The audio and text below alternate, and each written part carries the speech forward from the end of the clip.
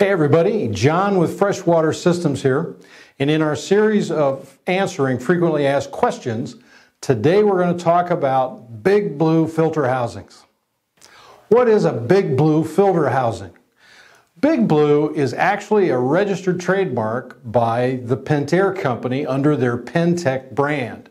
And the term Big Blue has become a Kleenex in the water industry. And it refers to the housings that take a four and a half inch diameter filter, either in a 20 inch like this one or a 10 inch. Who is Pentek? Pentek is a brand name under the company of Pentair. Pentair has several brands, Pentek being the brand that's kind of pointed at the water treatment industry. They also market products under OmniFilter, uh, Everpure, Fleck, Shurflo, and um, Wellmate, all under the Pentek or Pentair company. What makes Pentek housings unique? Well, there's a lot of players in this size housing and in this type of, of product. Pentek is unique in the fact that it's probably the best known. It's very reliable. The, the water treatment industry probably leans more towards Pentair, Pentek products than any other brand. So Pentek filter housings have been around longer, they're very reliable, and frankly, they're, they're very easy to use.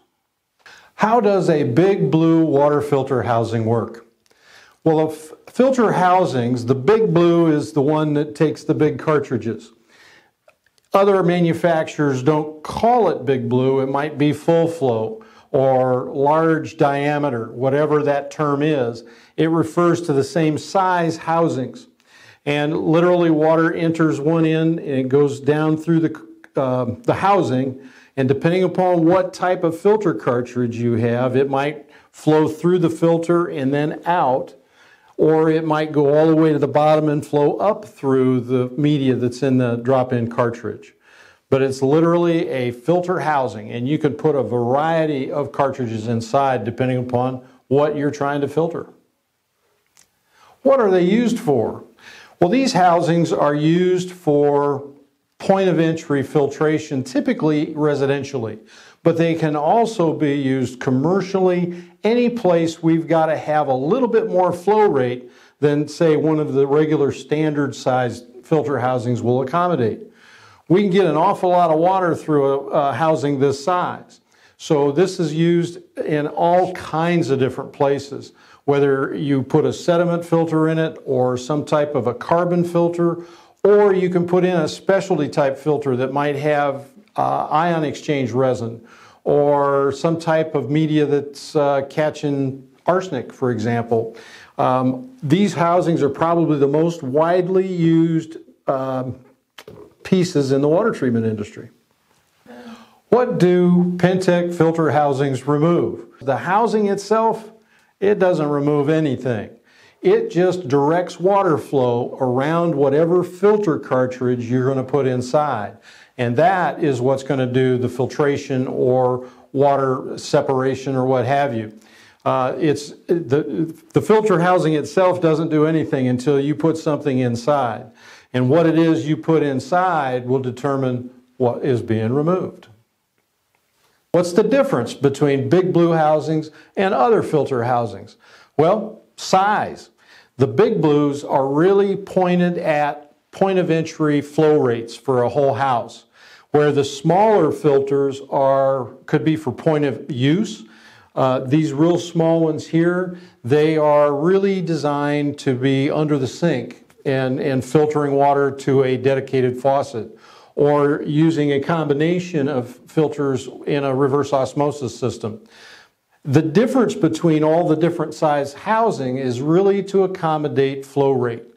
And when we're looking at point of entry, we want something that's going to have the ability to take a, a good amount of flow rate, and that's where the big blue housings come into play. How do you install a big blue filter housing? Well, it's, it's threaded, the cap is threaded to meet plumbing size. And these caps are available in three quarter, one inch, inch and a quarter, an inch and a half um, thread size. So when you're putting it in your household and you have inch and a half plumbing, you want to make sure your cap on the unit is inch and a half because you never want to reduce size from your plumbing size.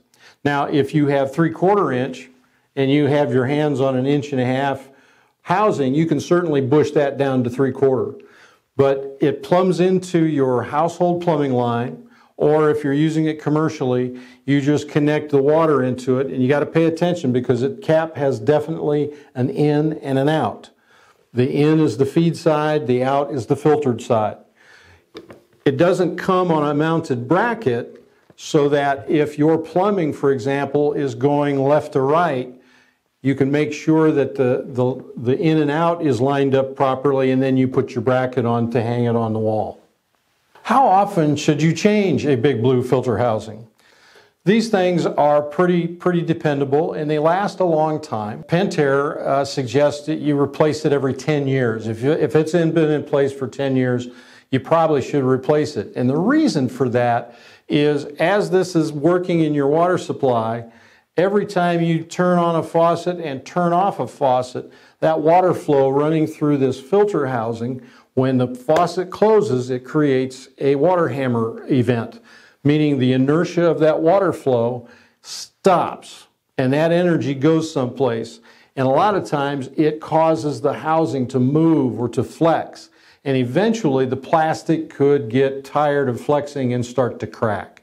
So the manufacturer says probably about every 10 years. If you're using a housing like this and you have a clear uh, sump, that's a different story. The clear sumps don't flex like the blue ones or the white ones or the black ones. The clear uses a little different plastic blend, uh, blend and it doesn't handle that flex as well. And those will start to crack and fail much sooner than the polypropylene colored ones.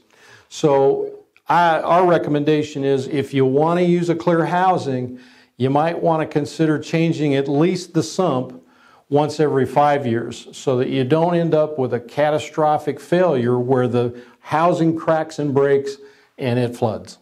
Which big blue water filter housing do I need? The, the Big Blue filter housing has a specific application in conjunction with the cartridge that we're going to use with it. The one that's right for you could be a combination of a couple of these. One with a sediment filter, one with a carbon filter for getting chlorine out or taste and odor kind of things. So the one that's right for you really depends on your water. Do you need a water softener with a big blue filter housing? Not always. And many times, the big blue filter is pre-treating or protecting the water softener. Uh, for example, if, if we're working on a well water supply and we're having to get a lot of hardness out, but the well has a level of particulate in it, well, we'll hang one of these before the water goes into the water softener so it can capture the stuff the water softener can't deal with. Sometimes it's oxidized iron. That stuff that makes the water change to an orange tint. We'll capture it with one of these types of filter housings and filter before a water softener. Well, that's all I've got. Be sure and like this video, subscribe to our channel, and check us out on our website, freshwatersystems.com.